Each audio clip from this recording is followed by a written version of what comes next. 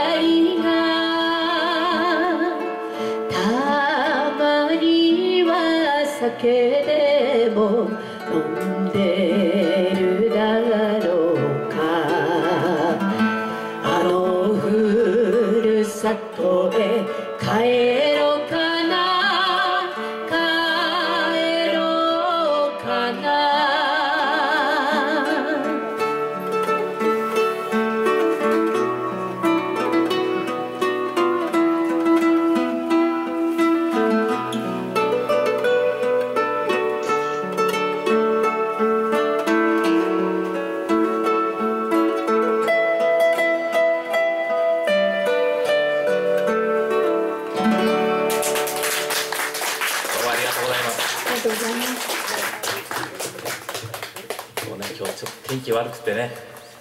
いや本当になんかねこんだけ来ていただいてありがとうございます。あの静かに聞かなくていいですからね。あのね隣の人とご歓談しながら気楽にね聞いていただいて。そうあの以前からここであの練習はしてたんですよ。あの向こうのねあのバラのこういうアーチになってるところで。そのうちになんかねこういろんな人が来てくれてそのうちに管理事務所からねあの黄色い服着た管理事務所の人がね自転車でね駆けつけてきたんであこれは苦情が来たなと思ってね早く逃げようっていういう思ってたんですけど、まあ、そうじゃなかったんで、まあ、そんなんで今日ねあのできるねミニコンサートができるようになりました。じゃあ次は、えー、美空ひばりの「愛さんさん」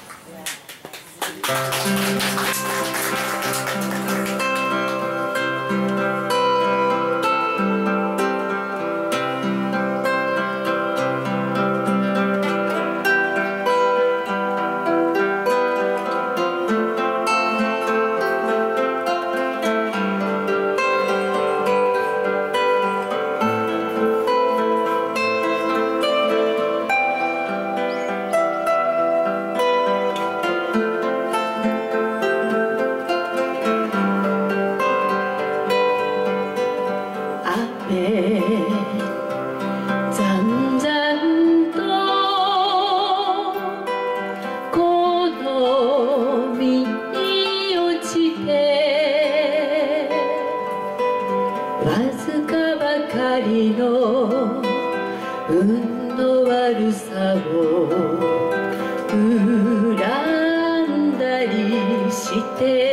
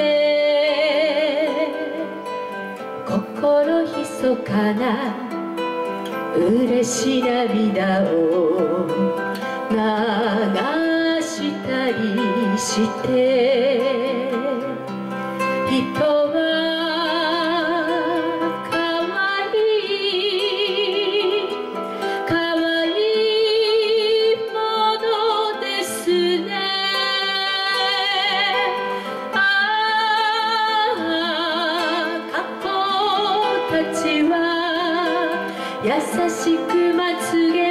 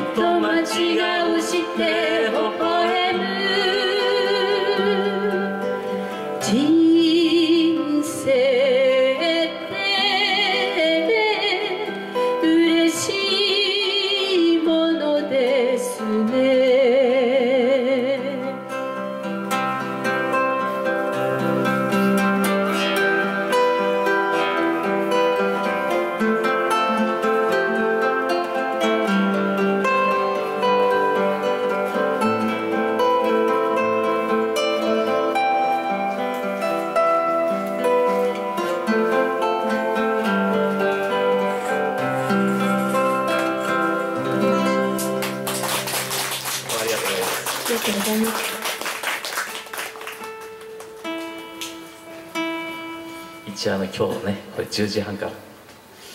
あ、1時間ぐらいやる予定でであと午後もまあ1時半ってなってるんですけどなんか天気が悪くなりそうなんでね午後もちょっと早めに始めちゃおうかなと思ってるんですが一応一部と二部ねやる曲かぶってるのも多少ありますけど、まあ結構違う曲もあるんで、ね、もし寒さに耐えられるなら聴いていただければと思うんですけど。じゃあ次は、えっと、岐阜のねえー津家地地方にあります。子守歌で。つけ地の子守歌、は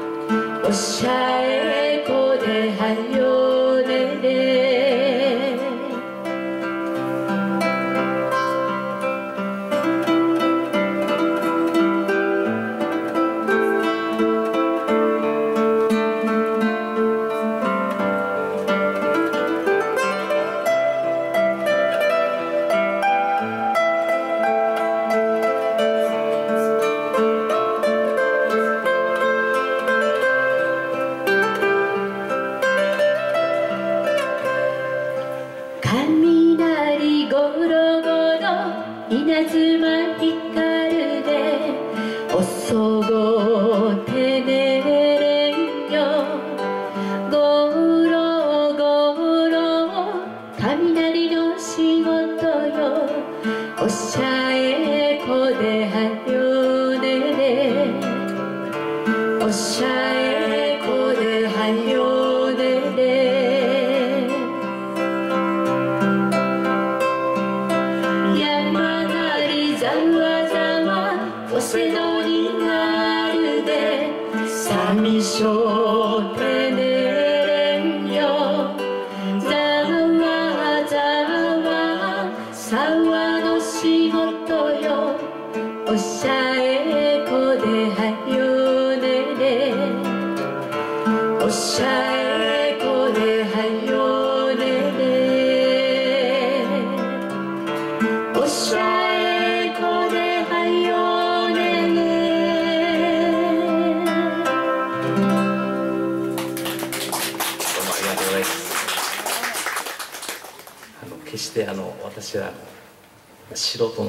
でただやってるっていうだけなんで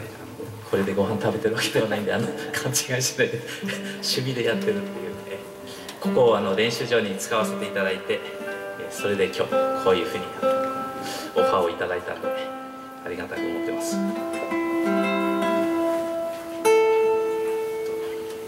じゃあ次の曲はえーこの秋にぴったしな曲で「えー秋の桜」と書いてえー「コスモス」という曲です。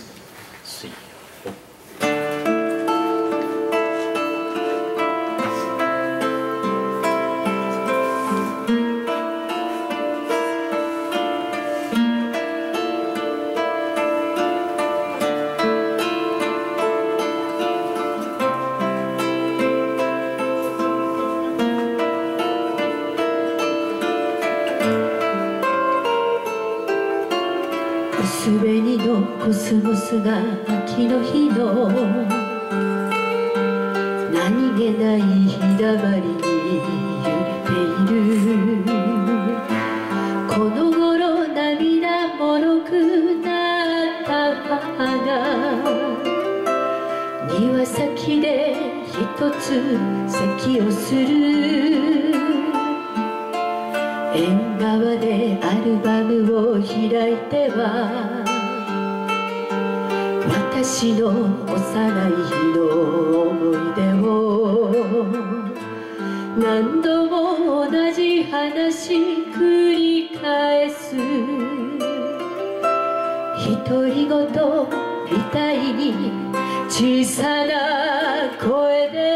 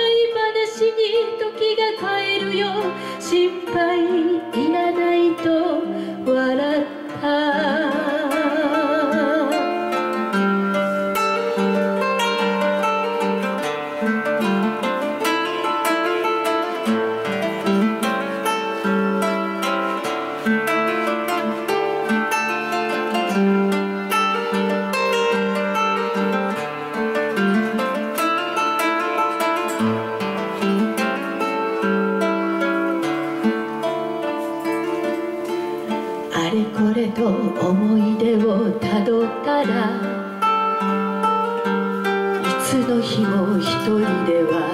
なかったと今さらながらわがままな私に唇噛んでいます明日への荷造りに手を借りてしばらくは楽しげにいたけれど突然涙こぼし元気でと。何度も何度も繰り返す母。ありがとう。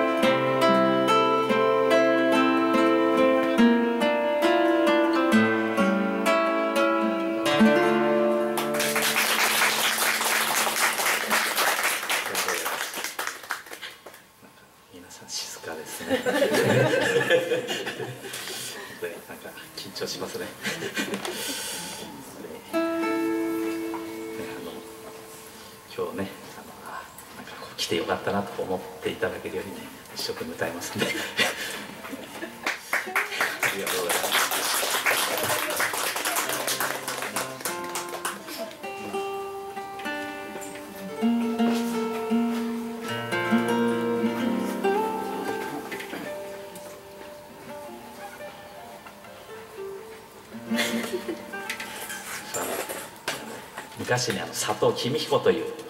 歌手がいたんですけど「ケメ」っていうねいう人の、まあ、私が一番大好きな曲で「通り、安静」というちょっとね古いなんか日本のね時代を思わせるような曲なんですけど言います。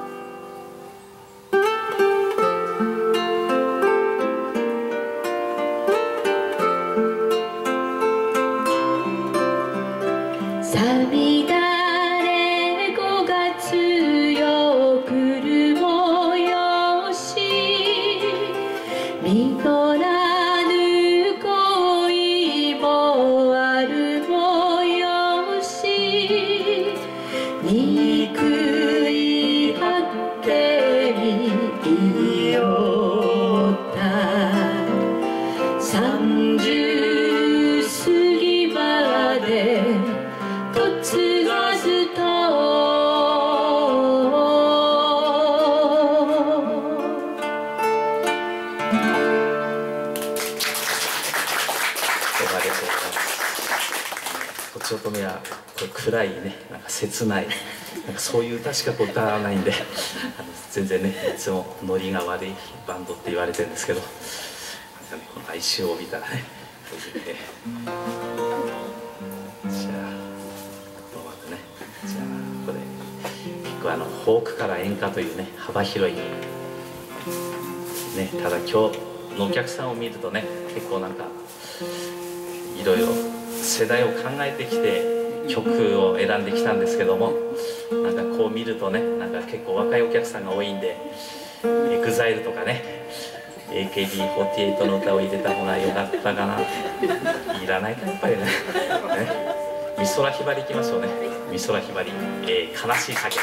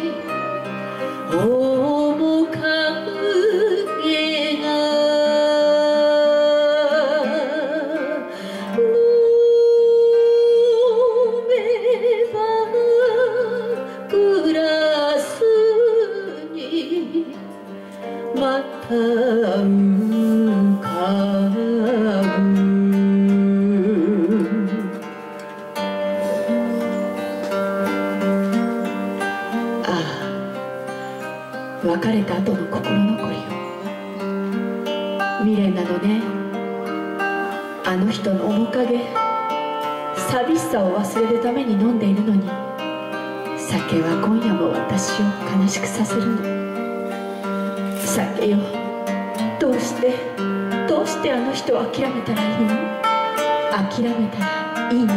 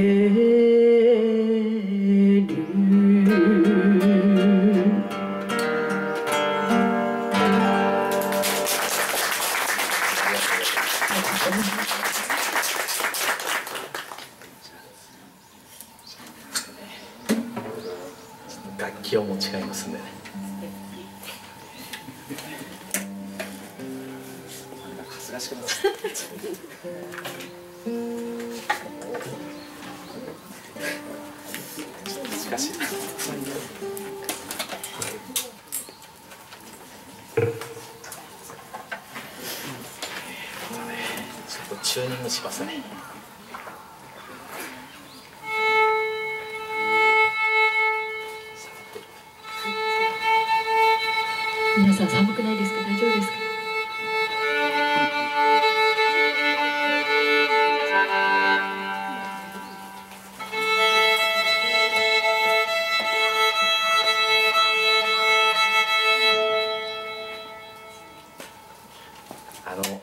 多少の音程は気のせいということでね。じゃああの工場の月というね、ええ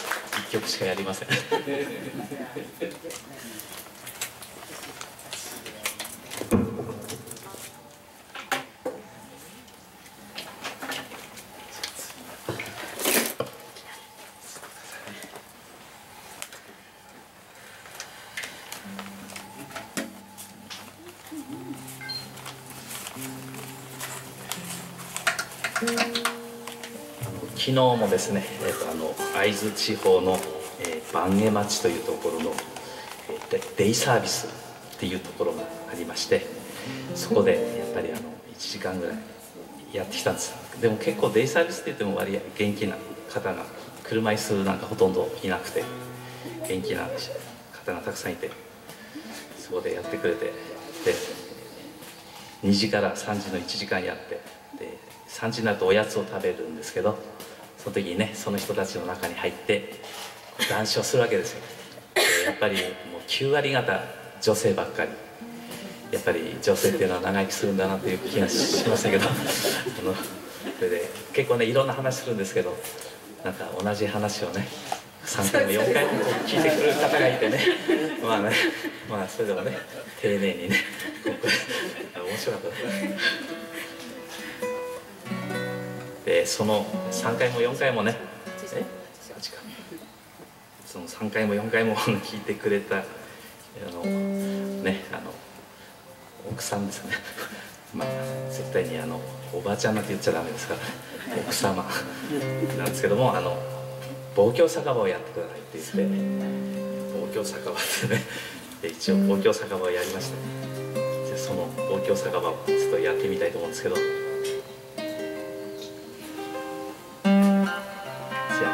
ます。望郷酒場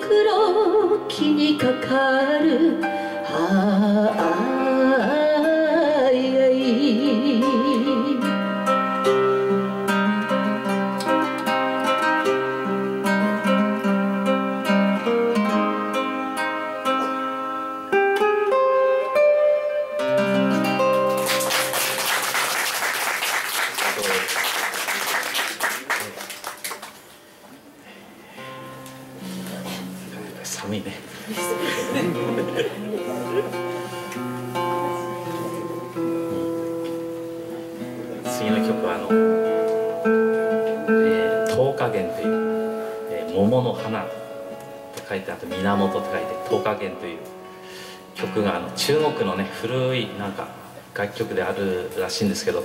それそれにあの歌詞をさだまさしが昔ねつけたワルツでね結構ほのぼのとしたここにぴったしかなという曲があるんですけど、まあ、知らないと思うんですが聴いて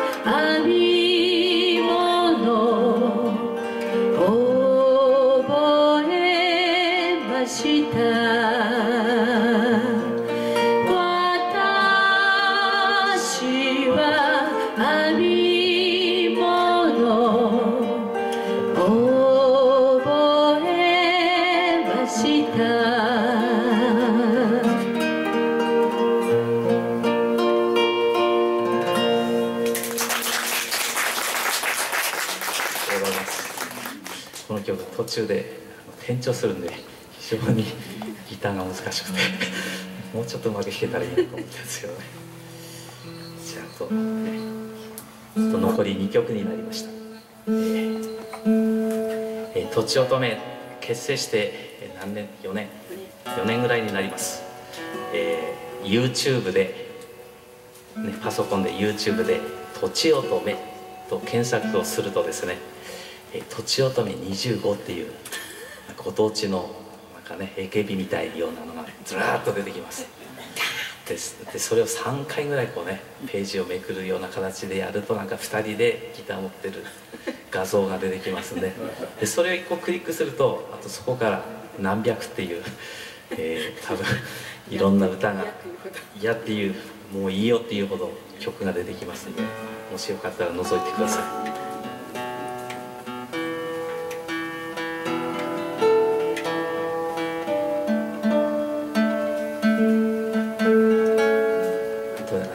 で終わりますんでね。あの我慢してきてありがとうござい。ますじゃあ往年の名曲で、えー京都伏見地方の曲で武田の子守歌。3 4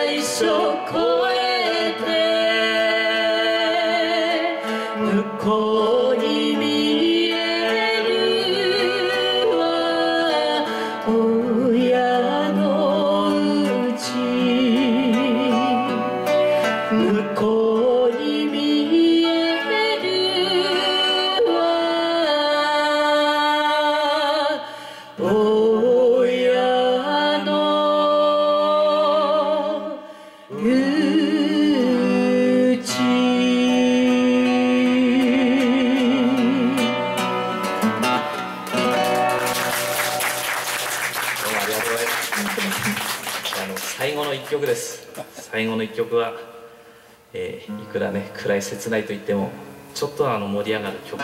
で終わりにしたいと思います。あのこの後もねあの今後もしやりますんで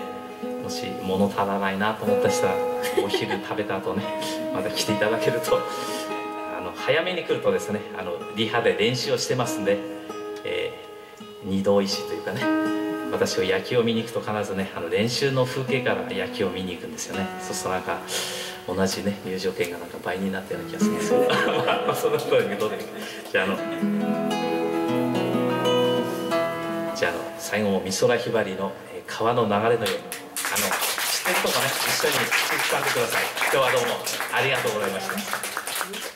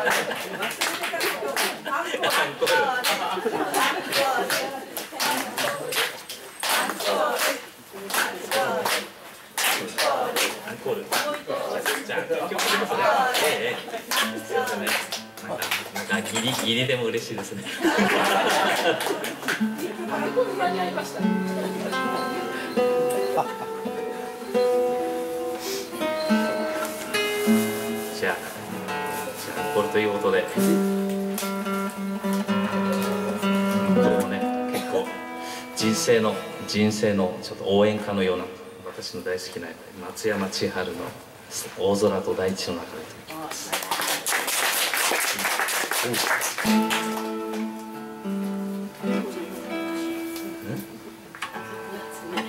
すいません、キーを間違えましたね。まあ、こういうことよくあるんです。失礼しました。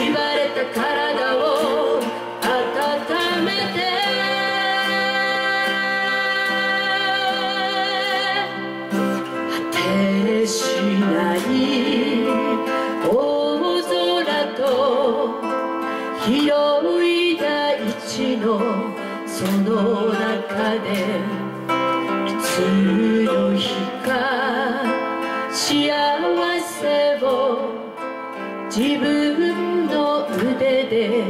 掴む。よ自分の腕で掴む